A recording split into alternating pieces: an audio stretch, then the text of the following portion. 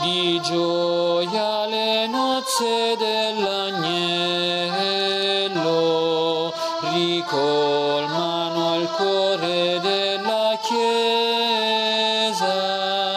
Beato chi serve alla mensa di Cristo, sarà strumento di misericordia.